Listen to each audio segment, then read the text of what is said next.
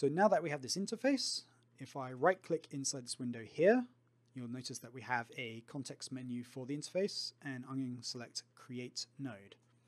And what you'll notice here is that we have a series of menu of all the different nodes built into Unity or built into uh, this current version of Shader Graph inside Unity.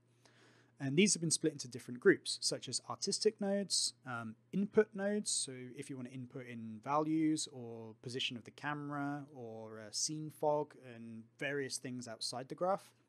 Um, we also have some math nodes that subtract, divide, multiply, uh, forms of trigonometry and things like that. Uh, procedural nodes, which generate noise and shapes um, entirely in the node. Utilities, so we also have logic for and branching and things like that. Um, I'm not actually going to go through every single node because, like I said, there's probably like 200 plus, and this will be a 200 hour live session. Um, but instead, I'm going to use a couple of key nodes to get some unique visuals um, for our spider robot. So I could go through each of these individual uh, menus, or instead, you can type into this uh, search here, and it will actually filter based on what you type on what node you're looking for. So as you become more familiar with the library, you'll be able to type very quickly and sort of get the exact node you're looking for. So in this case, I want to create a Fresnel effect node. So we have this nice rim lighting node. Now each node has a very similar structure. You have the name of the node, you have the inputs on the left, and you have the output or outputs on the right.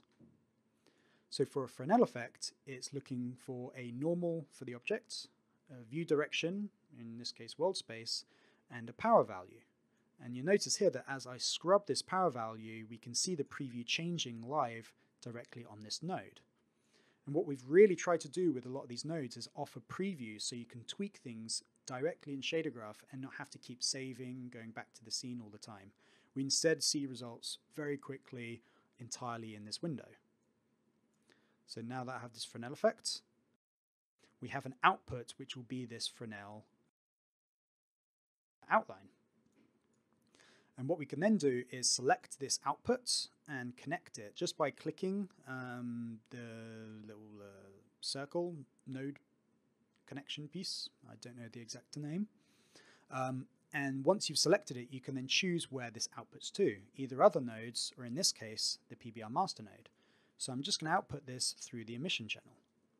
You notice that as soon as I do that, this Fresnel effect is now being put through the emission, which is now being put onto our spider robot in this preview here. And as I change the power, you can notice that the live, um, it's updating live in this preview, and we can see the results pretty much instantaneously. Now this Fresnel effect is nice, but we may not necessarily want our spider robot to have this white outline. We may want to be able to set a color. So this is where the property section comes in use in this blackboard.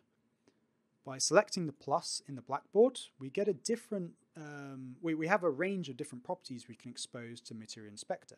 And if you've used materials in Unity before, which most of you probably have, you'll notice that there's a lot of similarities um, between what you've used and in this blackboard, such as a color, a texture, a cube map slot, vector 1 for just uh, one value, uh, like an integer, uh, vector 2 for x and y, vector 3 for x, y, z.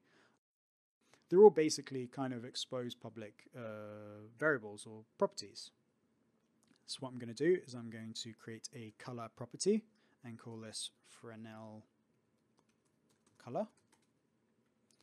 And by selecting this uh, area here, we then open up the color picker. So let's set this to, I don't know, something like yellow. And now that we have this Fresnel color property, I can then take this property and drag and drop it into this uh, node interface. And this property will then be tied to this node. So we're using this as an input. So now we have a Fresnel effect and a color being determined from this blackboard kind of think of different properties on this blackboard as kind of like global values that you can set and then input or um, intersect into various points of your um, graph. So now we want to take this color, in this case yellow, and apply it to this Fresnel effect. And this is where we can actually combine nodes or do some kind of maths to combine them together. In this case, I'm going to create another node and I'm going to create a multiply node which takes in two values and multiplies them together and gives you a result. And I'm going to output the Fresnel effect into one slot, output the Fresnel color into the other slot. And you'll notice now that the preview will show the color multiplied by the Fresnel effect to get the yellow glow. And then I can output this into the emission.